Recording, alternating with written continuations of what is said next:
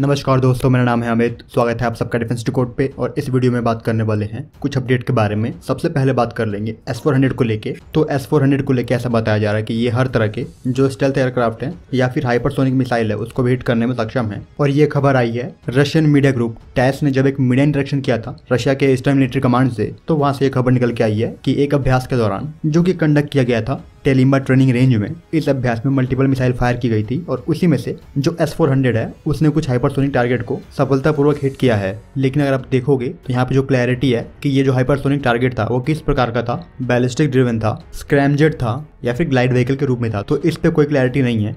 लेकिन जहाँ तक संभावना है कि एस फोर हंड्रेड किसी बैलिस्टिक हाइपरसोनिक टारगेट को हिट कर पाए तो वो संभव है। बसरते इसका जो रडार है, वो टारगेट को ट्रैक करना चाहिए। क्योंकि अगर आप देखोगे एस फोर हंड्रेड की टारगेट वेलोसिटी तो वो तकरीबन 14 मार्क के अराउंड है। और वहीं पे जो एस फोर हंड्रेड के साथ रेडार है, वो U H F V H F based frequency का इस्तेमाल करता है, जो कि काफ़ी इफ़ेक्टिव होते हैं स्टेल्स टारगेट को लेके। तो जो पॉसिबिलिटी है कि एस फोर हंड्रेड ने किसी हाइपरसोनिक मिसाइल को हिट किया है इस अभ्यास के दौरान तो वो कोई ऐसी चीज़ नहीं है जो कि असंभव हो। फ़िलहाल अभी इसको लेके यही क्लेम है रशियन मिलिट्री की तरफ़ से कि इस अभ्यास के दौरान जो हाइपरसोनिक टारगेट है, उसको सफलतापूर्वक हिट किया गया है। बात करोगे इसके रेडार की यानी कि सिस्टम की तो ये सिस्टम तकरीबन 160 मिसाइल को गाइड करने में सक्षम है और वहीं पे उसमें से तकरीबन 80 टारगेट को वो इंगेज कर सकता है एक टाइम पे साइमल्टेनियसली और ये जो टारगेट है, वो कुछ भी हो सकता है, चाहे वो क्रूज मिसाइल हो बैलिस्टिक मिसाइल हो, या फिर कोई अलग प्रकार का जो मैंड या फिर अनमैंड एयरक्राफ्ट हो वो भी हो सकती है। यानी कि एक कॉम्बिनेशन ऑफ़ टारगेट को साइमल्टेनियसली हिट करने में ये सक्षम बनाता है। तो इसको लेके भारत ने भी 2018 में एक कॉन्ट्रैक्ट साइन किया था, तकरीबन 5.4 बिलियन डॉलर का। और इसके अंतर्गत भारत तकरीबन पाँच जो बटालियन है एस फोर हंड्रेड की।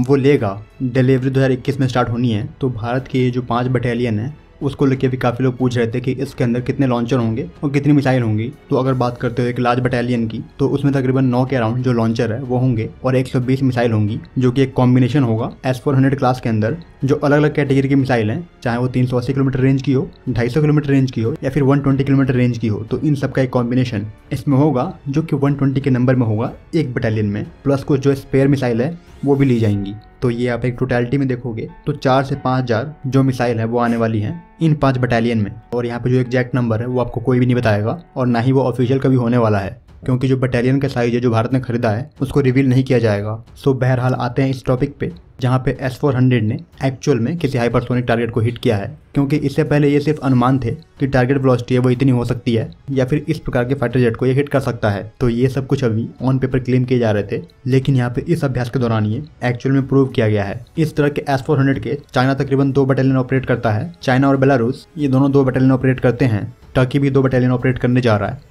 अब बात कर लेते हैं तेजस में लगे एक कंपोनेंट के बारे में। जैसा कि मैं पहले ही बता चुका हूँ कि तेजस में, जो भारत के कुछ मुख्य सिस्टम है स्वदेशी, उसके बारे में बात करेंगे अलग अलग वीडियोज़ में। तो आज बात करने वाले तेजस के identification between friend and foe system के बारे में, यानी कि आईएफएफ के बारे में, जो कि यह सुनिश्चित करता है कि सामने वाला जो एयरक्राफ्ट है, या फिर जो ऑब्जेक्ट है, उसके जो इरादे हैं भारत को लेके, वो एडवर्स तो नहीं है। तो इस चीज़ के लिए जो आईएफएफ सिस्टम होता है, वो काफ़ी ज़रूरी हो जाता है। और इस आईएफएफ सिस्टम को तेजस के लिए डी की lab centre for airborne system यानी कि कैप्स ने डेवलप किया है, और ये वही लैब है जिसने एल स्टार जो रेडार है नेत्र एवेक्स का, वो डेवलप किया है। और अभी फ़िलहाल एक 360 डिग्री वाले फोर चैनल का इस्तेमाल करने वाला जो रेडार है, वो डेवलप करने में लगी हुई है लैब तो इस लैब ने ही तेजस के लिए जो आई सिस्टम है, वो बनाया हुआ है।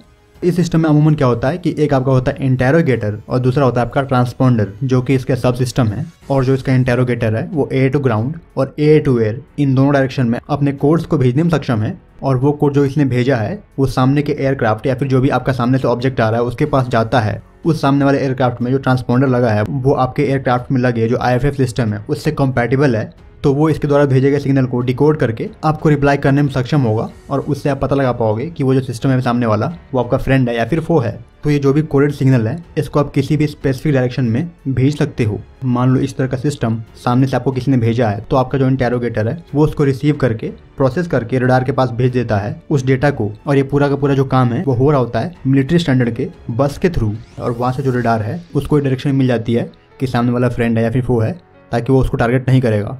अगर फो होगा तो उसको टारगेट करके लॉक करके आपसे पूछेगा, मिसाइल लॉन्च करनी है या नहीं? तो इस तरह के जो ट्रांसपॉन्डर और इंटरोगेटर होते हैं, वो मुख्यतः चार मोड में काम करने में सक्षम होते हैं और सभी के सभी तकरीबन 64 जो रिप्लाई कोड्स हैं, उनको भेजने में सक्षम है। मतलब जितने भी मिशन होते हैं, उन सब के लिए एक पर्टिकुलर कोड निहित होता है इसमें। तो ये तो हो गया आपका मोड वन और मोड टू में ये तकरीबन चार हज़ार के अराउंड जो रिप्लाई कोड्स हैं, उनको भेजने और आइडेंटिफाई करने में सक्षम होता है ये। और इतना ही नहीं, अगर कोई कोड आता है सामने के एयरक्राफ्ट से तो उसको रिसीव करने के बाद उस पर्टिकुलर एयरक्राफ्ट का क्या टेल नंबर है, उसको भी पता करने में सक्षम होता है। और वहीं पे एक और मोड दिए जाते हैं इनमें कि अगर सामने से कोई सिविलियन एयरक्राफ्ट आ रहा है तो उससे इंटेरोगेशन के लिए भी एक पर्टिकुलर मोड दिया गया होता है। इस तरह के आईएफएफ सिस्टम अमूमन ऑपरेट करते हैं। थाउज़ेंड थर्टी मेगा से थाउज़ेंड नाइन्टी के बीच में तो ये सिस्टम भी अपने आप में काफ़ी कारगर है। और कुछ इसी प्रकार के सिस्टम में गड़बड़ी हो गई थी लास्ट ईयर जिससे कि जो हमारा अपना ही हेलीकॉप्टर था, उस पर गलती से स्पाइडर सैम चल गया था। और उसको लेकर ऐसी रिपोर्ट थी कि उसका जो ट्रांसपॉन्डर था, वो प्रॉपर रूप से रिप्लाई नहीं कर पाया था, या फिर जो आइडेंटिफिकेशन है, उसको लेके कुछ एरर थी।